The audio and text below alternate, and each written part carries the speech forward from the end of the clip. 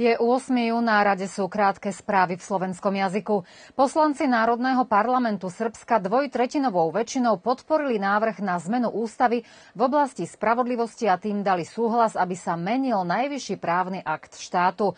Návrh na zmenu ústavy bol prijatý vďaka 207 hlasom z prítomných 213. Traja poslanci boli proti, dvaja sa zdržali hlasovania a jeden nehlasoval. Minister financií Siniša Mali dnes ohlásil, že v stredu 16. júna dôchodcom, ktorí do 31. mája prijali aspoň jednu dávku vakcíny, bude vyplatená pomoc vo výške 3000 dinárov. O deň neskôr sa začne s vyplácaním týchto prostriedkov aj pre všetkých ostatných občanov, ktorí sa prihlásili cez call centrum alebo webovú stránku. Prihlasovanie je otvorené ešte do 15. júna. Podľa slov ministra sa doteraz prihlásilo viac ako 1 200 tisíc občanov. Zároveň minister Mali spomenul, že sa začalo s vyplácaním poslednej splátky minimálneho platu, ktorá sa realizuje v rámci tretieho balíčka štátnej pomoci. Všetci podnikatelia, mikro, malé, stredné a veľké spoločnosti získajú 15 450 dinárov za každého prihláseného pracovníka, vysvetlil Mali. Pripomenul, že aj počas tohto mesiaca bude vyplatená štátna pomoc v hodnote 60 eur pre všetkých nezamestnaných.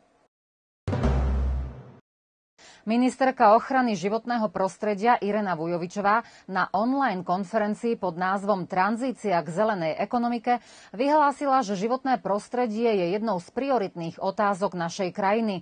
Počiarkla, že kľúčovými problémami v tejto oblasti je znečistenie vzduchu, odpadové vody a tuhý odpad.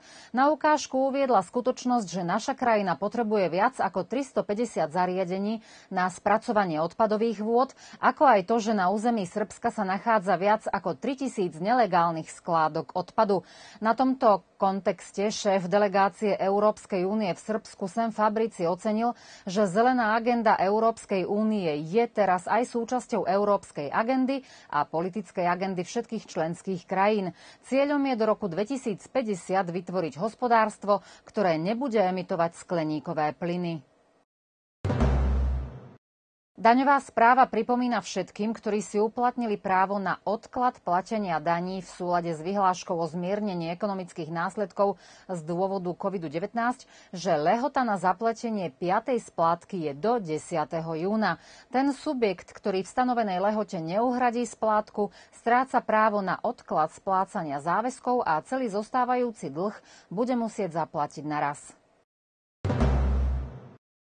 Podľa údajov zo stránky COVID-19 RS za posledný deň bolo v Srbsku testovaných 10 788 ľudí, z nich 214 malo pozitívne výsledky a 6 pacientov zomrelo. Stará Pazova za posledných 5 dní v našej obci zaregistrovaných spolu 16 novonakazených a aktuálne je v celej staropazovskej obci 23 aktívnych pacientov. Na dosiahnutie kolektívnej imunity v našej krajine je potrebné, aby sa zaočkovalo ešte okolo 15% obyvateľstva obyvateľstva. V tom prípade by sme denne registrovali celkom nízky počet novonakazených, to vyhlásil virológ Milanko Šekler. Spresnil, že keď v našej krajine budeme mať 3,5 milióna preočkovaných, nebudeme zápasiť s novými vlnami koronavírusu a nebudeme musieť otvárať nové COVID nemocnice. Lokálna nadácia Stará Pazova apeluje na občanov Starej Pazovy, aby v prípade záujmu zareagovali na výzvu, ktorá je aktuálne otvorená a aby posielali svoje návrhy na projekty. Táto lokálna nadácia totiž udeľuje prostriedky vo výške od 50 tisíc do 150 tisíc dinárov na realizáciu najlepších nápadov občanov, ktoré sa majú týkať oblasti vzdelania, kultúry, športu, ekológie a zdravia či úprav verejného priestoru. Návrhy na realizáciu projektov treba posielať do 30. júna. Peniaze, ktoré sa plánujú využiť na občianske iniciatívy, sú zozbierané od miestnych podnikateľov, spoločností a jednotlivcov s tým, že Trak Nagácia vyzbieranú sumu zdvojnásobila. Všetky detaily sú zverejnené na stránke nadácie v záložke konkurs. Ešte stále je otvorená aj výzva zo strany Národnostnej rady Slovenskej národnostnej menšiny. Ide o súťaž o autorskú slovenskú divadelnú predlohu pre deti a aj pre dospelých. Zapojiť sa môžu všetci dospelí nad 18 rokov zo Srbska. Jeden autor môže poslať maximálne dva divadelné texty, ktoré sám napísal a doteraz neboli nikde publikované. Predlohy treba posielať v troch exemplároch anonymne. V priloženej zalepenej obálke je potrebné uviesť meno a kontakt autora.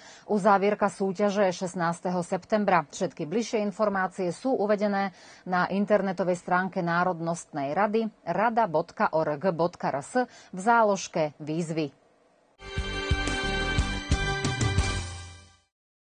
Najlepší svetový tenista Novak Djokovic sa prebojoval do štvrťfinále Roland Garrosa potom, ako sa mu podarilo včera večer zdolať súpera Taliana Lorenza Musettiho. Musetti prekvapil Djokoviča v úvode hry, kedy sa mu výrazne darilo, no Djokovič dal do zápasu všetko a súper sa v piatom sete kvôli bolestiam vzdal.